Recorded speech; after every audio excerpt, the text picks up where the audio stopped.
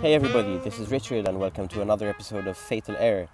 This show began as a research project for me to understand how entrepreneurs and founders think about the climate emergency and figure out ways in which all organizations, not just non-profits, can become climate positive.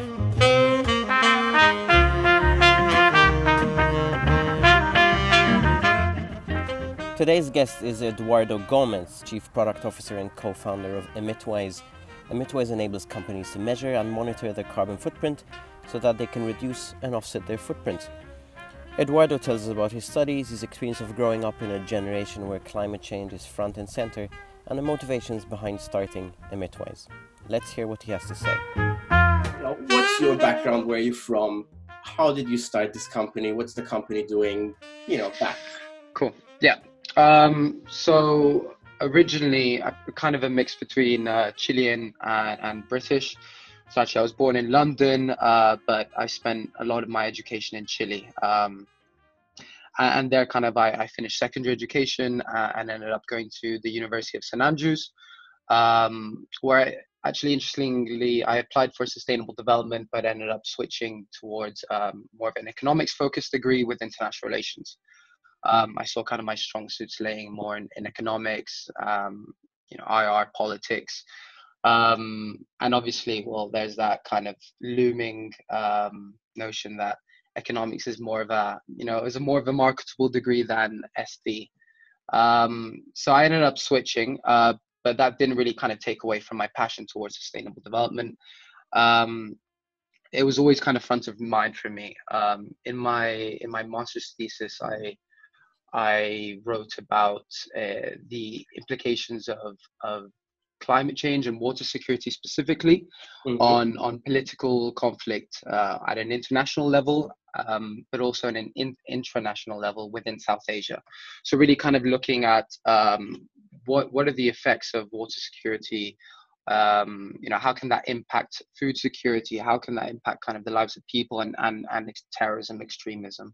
So for um, someone so, like me who's not sort of well versed with that term what do you mean yeah. by water security? Water security. So specifically this idea that there's um, there's a finite amount of water in this planet um, fresh fresh river uh, fresh from rivers from glaciers um, and this idea that you know, as climate change intensifies, um, you know, uh, the the availability of water um, across these uh, across many regions um, will start to really rapidly diminish. Um, so both the groundwater, uh, but also kind of the water from the glaciers, and you see this kind of um, interesting phenomenon, well, not interesting, very depressing phenomenon where um, kind of uh, you know the water starts flowing a lot quicker because of the glacier you know the increase in, in melting glaciers mm-hmm. um, so you're kind of you know getting flooding from above but also flooding from below from the you know from the sea level rise and and countries like India, countries like Bangladesh and Pakistan are, are very much uh, vulnerable to this, this phenomenon. Okay. Because of the the long history of conflict in the region, I thought it'd be interesting to examine how that uh, phenomenon, how climate uh, climate change and water security specifically might affect uh, conflict. And uh, my findings were quite damning. Um, but uh, yeah, it's almost an example just to show um, kind of this was always really front of mind for me. Um, but then I kind of, you know, when I graduated, I, I entered the world of tech. Um, um, I was I was always interested in innovation and in kind of this concept of of you know using technology to um, to combat the issues you know that we're facing across right. the world, whether it's gender equality, whether it's climate change. Um, you know, the, there are many. Um, so um, you know, given my background in economics, um, I joined a company um, that uh, actually uses AI to help with primary research. Um, essentially, they kind of created this primary research platform, um, connecting investors um, investors with with with their primary research and doing it in a way that's much more effective. Okay. Um, and what, what's what kind of work are you doing at this stage? Are you doing at that stage? Yeah, at, work. At that stage, I was more into sales, uh, but I wrap, you know, and, and while I think I was, I had um, you know some good s- skill sets for that. Um, I wasn't quite happy in sales. I think um, I, I, was kind of investigating what are the, are the other career opportunities I could go into, mm-hmm. um, and I eventually kind of turned to product management. Um, so so I became the first product manager at this company. Um, this this startup really um, is a startup that had been going on for two years. I you know I was there for a year, uh, so it really kind of grew quite quite rapidly. Um, by the time I had left, there were over 100 employees at the company, okay. and I joined when we are in kind of mid 20s. Um, so it, it, I kind of got to see this rapid period of expansion, and got to kind of grow with the company um, with the startup. Uh, but, but, but where I kind of experienced the most the most growth, I think, is when I entered into this product management. I started to understand, um, uh, you know, the skill sets that are required. Um, I thought, you know, the level of empathy that's required to understand the user needs and wants, uh, you know, fit well with what you know I've been doing um, throughout my life. Um, so that you know quickly became apparent to me that product management was something I wanted to get involved in. Um, moving on, kind of uh, towards the end of my kind of time at uh, the startup, um, you know, a series of events happened, but essentially my co-founder, I think you you spoke with Mauro, um, longtime friend actually. We we were um, we were very close friends in in Chile, um, and he had done you know he had started up his own company, um, uh, taking him to San Francisco, in California. Um, so he ended up working on that startup for, for a few years, I think. Um, turned out to be quite successful. Uh, but he kind of realized a similar conclusion that I did. Uh, you know, it, that that space, uh, so that startup was was called Researchably, and they were in the pharmaceutical spaces. So they were kind of creating research uh, or or facilitating uh, the process of of finding research for for pharmaceutical big pharma pharma companies. Mm-hmm. Um, but yeah, similarly to to me, I kind of uh, you know he realized he didn't want to be in that space. He didn't want to be learning about farm uh, pharmaceutical companies. Um, what what he really cares about as well is is climate change and and using technology to solve that issue and that okay. crisis. So you um, put your heads together at some point and decided well, to do something together. well that's where the coincidence came. So he you know he, i remember him calling me uh, one day you know we'd we'd always kind of stayed in touch speaking like uh, at least every month since uh, since chile. Um, and he called me he calls me one day telling me like oh you know i think i'm going to make a big move here. Uh, i think i'm going to leave researchably. I'm actually thinking of going to london um, uh, to work on one of my friend's startups. Um, you know, do you know anywhere anywhere I can stay? Do you know anyone who has a spare room in London? Like I'm going to be going there pretty soon. Um, fortunately, we actually ha- ended up having um, a room in my in my house okay. available, so it was it was perfect. Uh, and that room was becoming available the month he was coming. So so yeah, kind of uh, you know he can he ended up moving in. Um, and and yeah and um, you know, shortly shortly after we moved in, um, we were doing kind of some brainstorming. We are always, you know, since since high school, since uh, secondary school, we are always, uh, you know, brainstorming of ways of how to kind of solve uh, solve or at least tackle the cl- the climate crisis. Um, okay. So one day we sit so down. You, you you're sort of one of the people who've grown up to some extent yeah, yeah. I don't know how old you are. Sorry, but I... so I'm yeah, yeah, yeah, of course. I just turned 23, so still okay. very young. So you, throughout your high school education, this was something you were basically growing up with. Yeah. Okay. Yeah. Yeah, That's exactly, exactly. I remember distinctly one geography class when I was in primary school. Uh, they played a they played a documentary um, on climate change, and ever since then, you know, since I knew about the issue, I just I couldn't really stop thinking about it. It was always at the back of my mind. So was, yeah, something I definitely grew up with. Um, I think that's something um, specific to our generation. Yeah, yeah, for sure. It's interesting. I was talking to somebody um, as in one of these interviews, Gareth.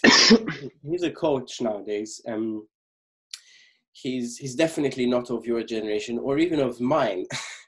so he's like a bit older. He was in, yeah. sort of in, in university in the right. early 90s, I think, something like that. And it's interesting how he was talking about he grew up with these issues basically being very different to how they talked about today. The issues back at the time were more like conservation, pollution, so still, yeah. still sort of important, but less catastrophic, right? And they were more about they were more about oh, animals are going extinct, or this is impacting our health in cities and stuff like that. But sorry, yeah, yeah, yeah carry on. Um, so I think you were getting to like. Um, oh yeah, so kind of where it took off. Yeah, uh, Mauro. I remember we Mauro and I ended up sitting down and and you know and thinking, okay, right, we're not going to get up uh, from this couch until we've we've come up with at least a few ideas. Um, I think we said five ideas, and we'll call it. Um, but they all have to be related to climate change um, uh, and in, in, kind of in tackling the you know the issue that is climate change. Um, so so yeah, I, I, think we we came up with you know a couple good ideas. Most were bad, um, but uh, you've got to start somewhere. Um, I think that that key that key night like that night was was quite key and instrumental in in in in actually kind of getting the ball rolling. Um, okay.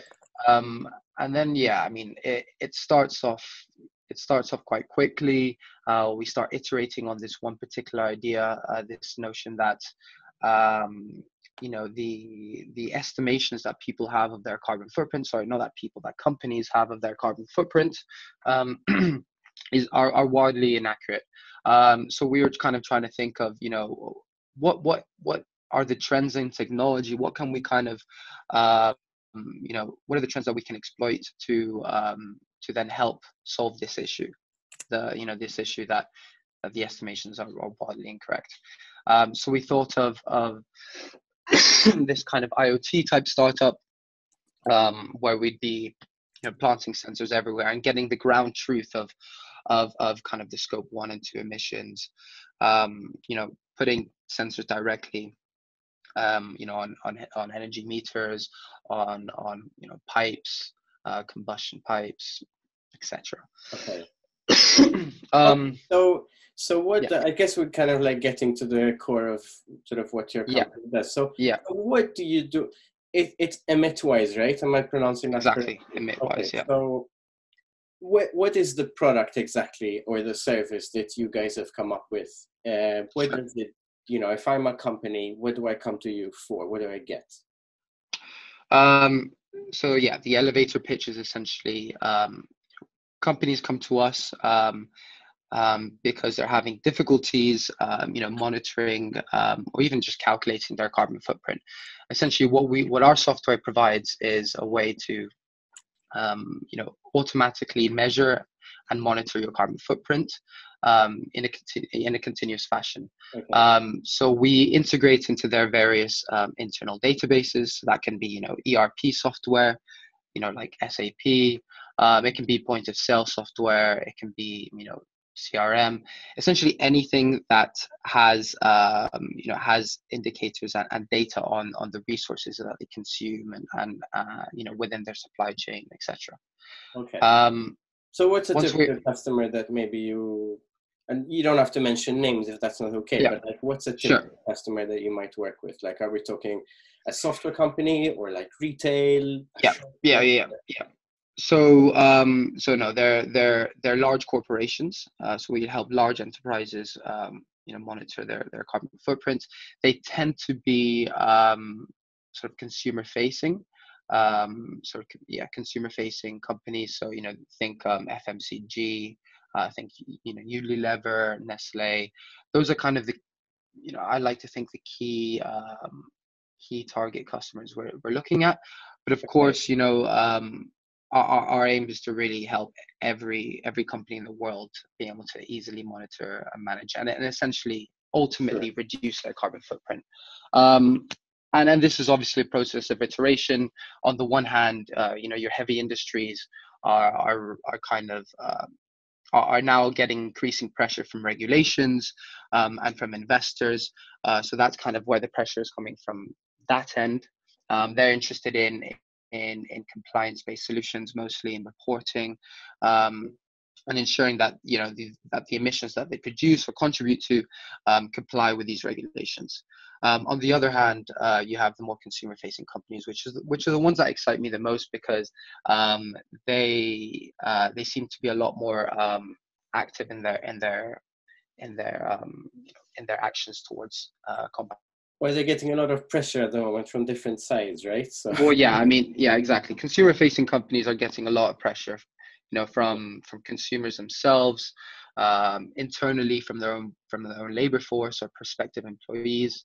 Um, i think actually i was uh, we posted an article yesterday um, on google. Um, they so a group of 1000 google employees actually um, send a letter to the cfo um, asking them to or calling for them to um, uh, stop all funding on um, you know policy groups or any organizations that are that are um, basically preventing climate action or, or lobbying against climate action. Yes, they were in the news recently, Google, weren't they, um, about yeah. their funding of I can't remember which groups, um, but certainly yeah. some anti-climate action lobbies yeah. in the states. Um, yeah, yeah, and, and and to be to be fair to Google, they I mean they've they've been carbon neutral since 2007, so they have uh, some they? side. You know, okay. Yeah, so they they've they've done they've they've made some important strides, um, but still, I think it's uh, it's unacceptable for them to be um, you know funding organizations that that you know helped convince Trump to pull out of the Paris Paris Agreement. Okay. Um, I think that's yeah, so yes, um, but so okay, just to pick on that a little bit, when you say right. Google have been carbon neutral from 2010, right? Uh, 27 or 2007, yeah. 2007, okay. Mm-hmm. Um, what does that mean?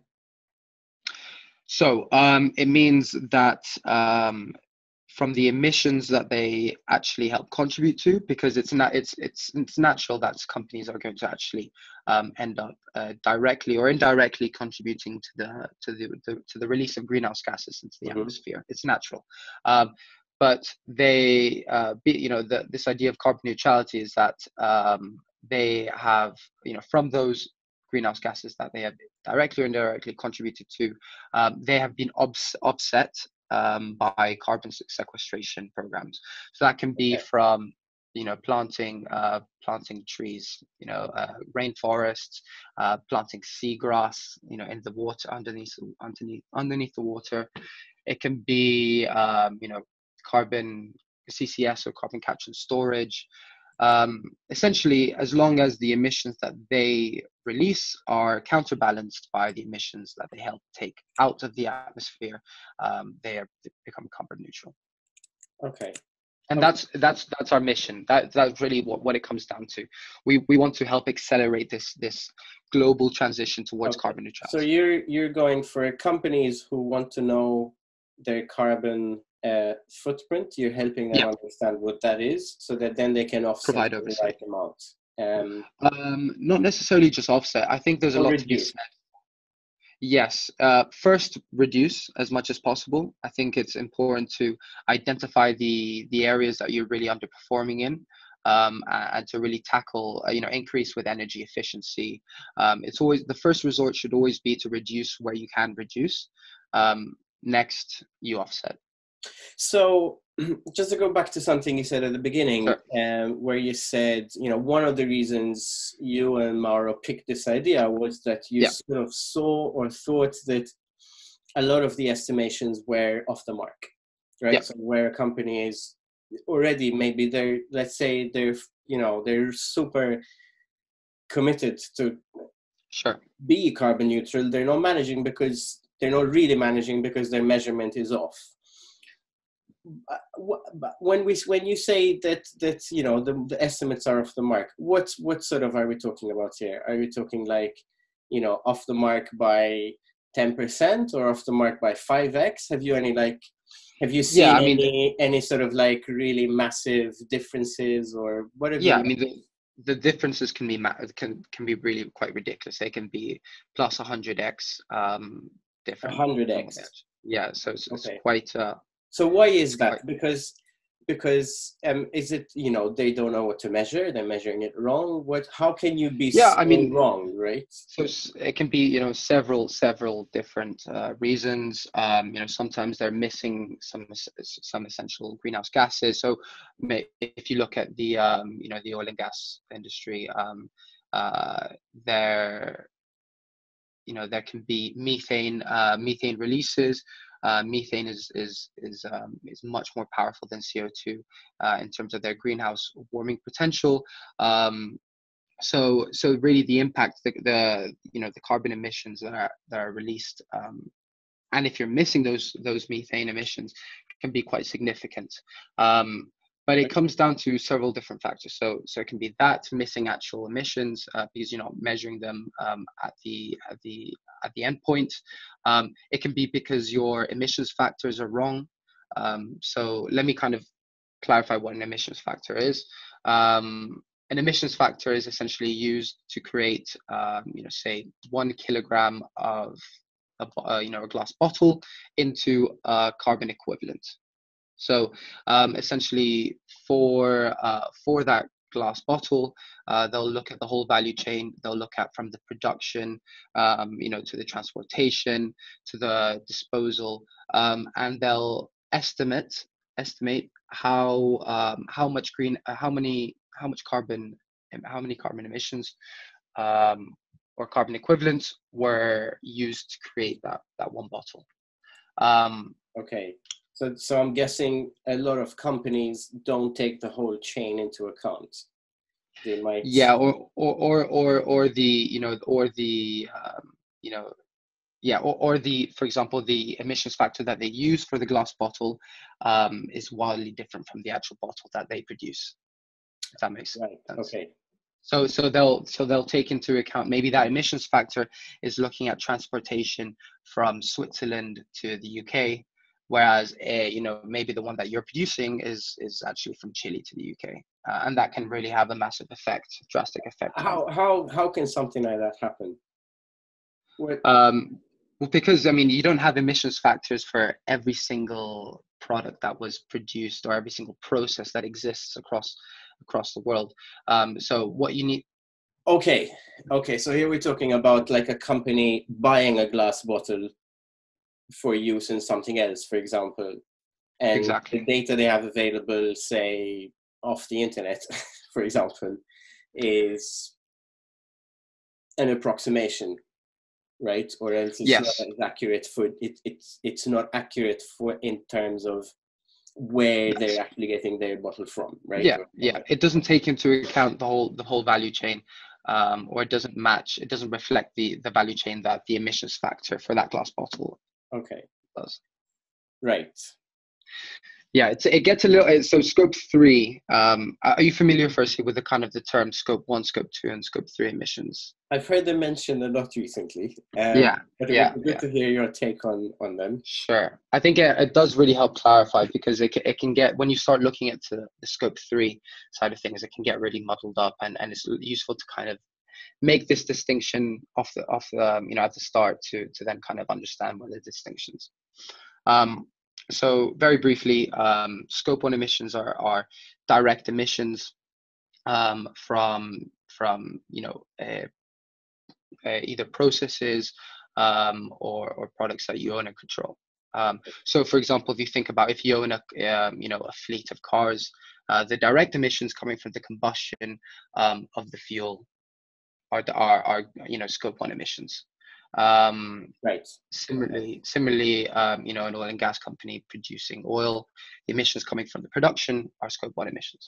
Um, then you're looking at scope two emissions. Um, now, those are indirect emissions, uh, but they're emissions coming from, um, you know, for example, the ut- the utilities that you purchase, so the electricity that you consume. Okay.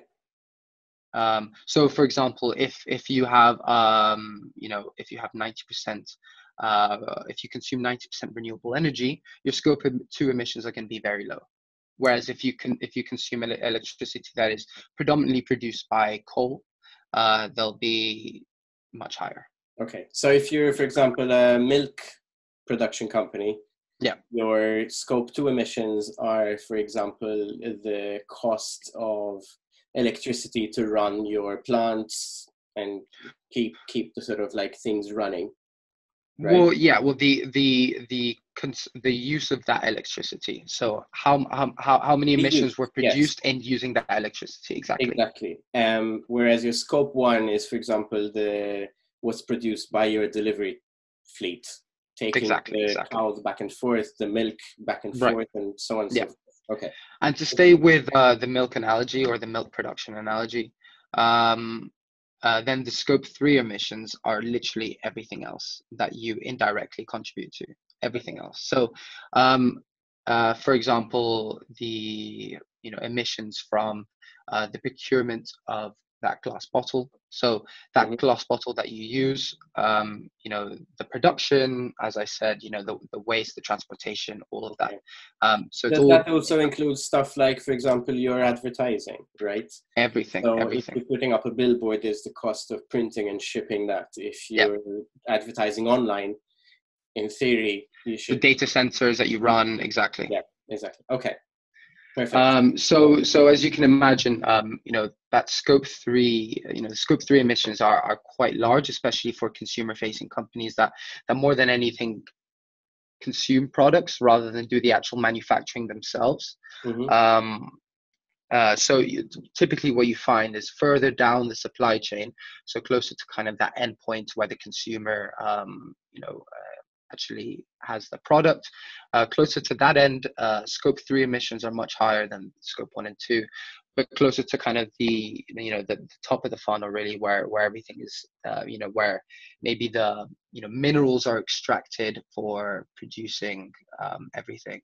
Yeah, that's that's where the bulk of the scope one and two emissions can be found in general. In general. Um, yeah, makes sense. And, makes sense. And, and there's been a lot of focus for scope three emissions um, because um, because essentially, I mean, you know, scope one and two emissions aren't the whole picture.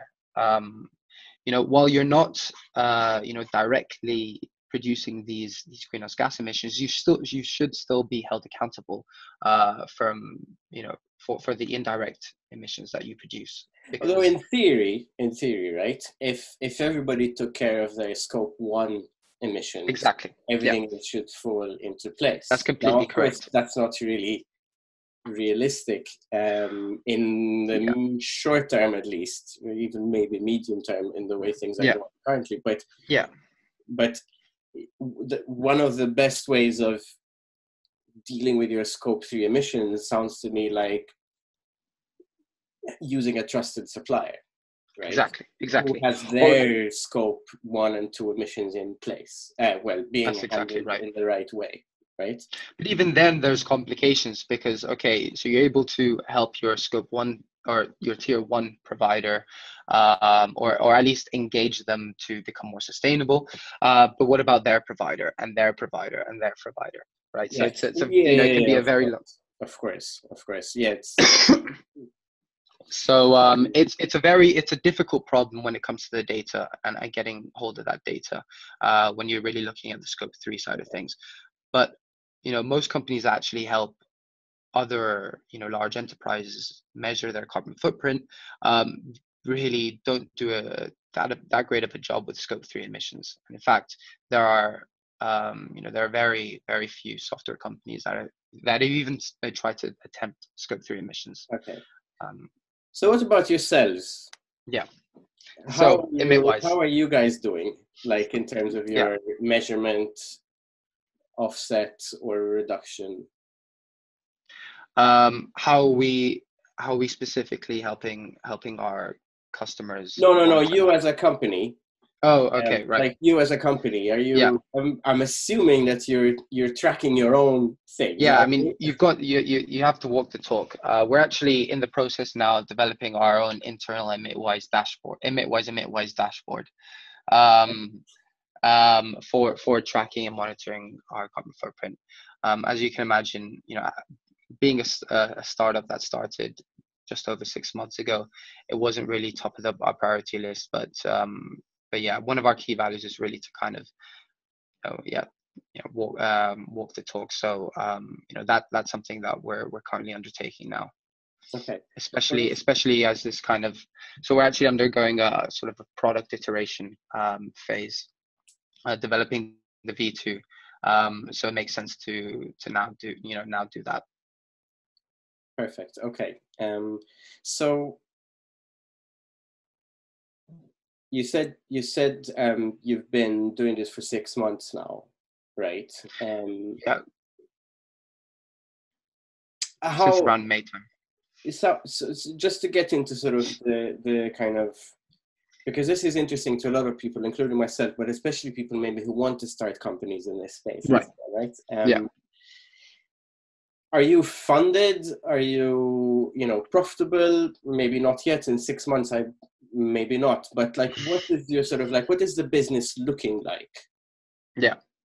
Um, yeah. So we received our. I mean, so for the first few months, we're uh, we were running from we, we were running on competition funds uh, so uh, we were lucky enough to kind of attract um, attract interest um, across competitions within the UK pri- primarily university competitions um, uh, but also um, you know there are some other um, competitions are involved in um, the Royal Academy of Engineering being one of them but so that was kind of our first uh, you know that helped us get off the off off the road okay. um, um, and and and when we you know when we had enough legs to really go out and raise money from investors that was around um, end of august early september time.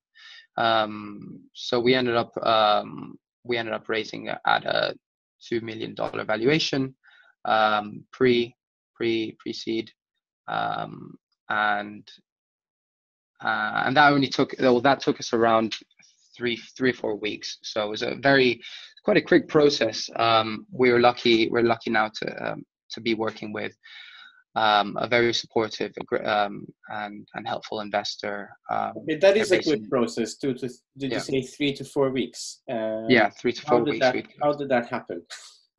To be honest, I mean, I can't take any credit for it. My uh, my co-founder Mauro um, led and, and managed that whole raising uh, raising process, fundraising, and and he yeah he should be taking the credit for that. I think uh, he did an amazing job. I think part of it is um, you know he had the experience from from fundraising for his other startup, um, so so yeah, he, I I like to think he know he knows how to uh, to go into a room with Sure, but what, what's attractive to investors here, right? Um, mm-hmm. and, and, bear with me for a minute. I have sure. Issues with investors and sort of like the investment kind of ecosystem in general, right? Because there's good cases to be made for certain types of investments that you know they they promote perhaps the wrong kind of activity, um, or wrong kind of economic sort of like growth. Yeah, yeah. Um, but and you know until recently you wouldn't get that many investors um, investing in such a young company in this space so quickly. Even with even with with founders who have you know raised before and so on. Um what's been attractive to the investors that you found? And and you know how how what's the pitch basically? Well i think at the end of the day um any software company that replaces what is currently done, you know, using Excel spreadsheets, um, you know, it has has the potential to become, you know, uh, a pretty pretty important solution. Uh, I think, I mean, if you look at other companies that have that have been able to do that and replace, you know, what was currently done with Excel spreadsheets, you know, accounting software. I mean, you can draw comparisons.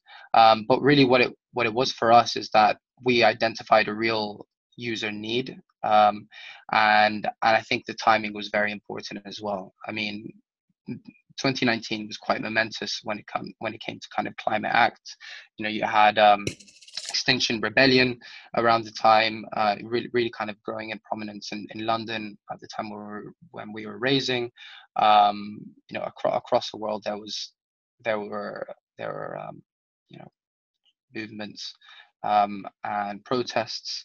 Um, I like to think that you know, I, and I'm fairly um, optimistic on this front, but I like to think that um, we're kind of finally turning turning the tide here, where um, pressure is is becoming so great, you know, from from consumers to regulation to investors, that companies can't ignore this issue any longer. Um, companies really um, now need to look at it as an opportunity, the opportunity that it is. Um, you know, sustainability can really become a competitive advantage uh, for many companies out there, and that's what we're trying to help them do. Uh, I think when the investors kind of um, identified that uh, and really uh, resonated with that vision for um, from our end. That sounds great.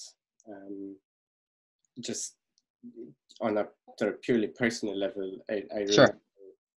um, I probably won't. This won't make the edit, but um, I was involved in a startup like yeah uh, quite a while ago that was trying to do kind of similar to what you guys are doing now like not exactly not exactly in the way you've described it but a fairly sort of um it was the point was about measuring what you're doing right it was more consumer oriented rather than enterprise and so on mm-hmm. but um we went to so many obviously there's like a, a thing where many variables, right? Of like maybe they didn't like my face or you know a bunch of things there. But the response, the interest was so non-existent at the time of like we would never invest in something like this. Um, so so that's that's a good that's a good uh, thing to see. Yeah, um, yeah. I, I think it's a shame. Small thing, but I don't mean that your company is a small thing, but in a sense, even if it's like a few investors here and there, but it it gets the ball rolling. Yeah, of course. I think I think what's important is to really kind of uh, not be selective, but really kind of try to find the investors uh, that are most relevant to the business that you're trying to grow. Right. So if if you're building a software company, you know, try to uh, start the conversation with um, you know VCs that that you know focus and specialize in investing in software companies. You know, if you're if you're building a, a social impact uh, business, you know, try to reach out to the to the investors that that focus on social impact businesses. Um, okay, so yeah. I have I have to go pick up my daughter in like ten minutes. Sure, so, sure. So I'll ask you one last thing. Um, okay. What what are your you know what are the kinds of things that you'd like to see your customers do when they use your product what what sort of things are you well let me let me rephrase that you're uh, you're, you're helping your customers understand their footprint right what's are, hmm. what sort of things are you hoping that they will change and how fast can that change happen in in their organizations um, I mean, essentially, so I think the first step that that EmitWise tries to help is, is to provide oversight, right? Um, is is to kind of help with the measurement side of things. But our end goal really is to help them um, identify the best and most effective opportunities for reducing their carbon footprint, right? Um, so I guess um, in answer to your question, I think what we'd like, what we'd really be, uh, and this you know maybe something we, we are looking to measure but um, you know how many how many targets um, our customers set? You know how many uh, emission reduction projects you know are they undertaking? Are they meeting their targets? Are they identifying the most effective um, ways of reducing their emissions? And what i really hope our software is able to do for them is to identify um, those emissions hotspots um, you know the real the real spots where where they're underperforming against their industry competitors um, and where they can make the most the most progress. Are you planning to have any kind of public leaderboard of public leaderboard? You know, yeah, yeah. Well, I, I, think it's important. Their, their emissions by this much, you know, like this brand has done this, has made this improvement. Well, that's a good that's a good idea. It's, it's actually not something I've considered before, but I think there's a lot of value in, in trying to gamify the process, in trying to kind of uh, uh, you know make it make it competitive. Um, it's something that we've been thinking in internally within an organization. So um, you know can this office be more sustainable than this one? Uh, can this sustainability management team yeah. you know you know be um, you know help produce more? but also for for you know that scope three conversation we were having before you know if i could go to your sites and see actually who is really um, let's say really giving a shit about this stuff like, yeah yeah should i buy this brand or this brand of tea yeah uh, yeah yeah, but I mean, yeah, of course. It's it's. I think that's interesting. I, I think it's also very important to be focused on on the product that you're trying to build, and I, it sounds to me like that company is more kind of uh, focused towards you know helping consumers have greater understanding. Um, and while that's definitely a company that needs to be built, um, and it's actually you know I've, I've there's a lot of uh, there are a lot of ideas surrounding that kind of B2C area of what we're yeah. trying to build. Um, it's not what we're focused on. Fair enough. Thank you very much. No, uh, no problem.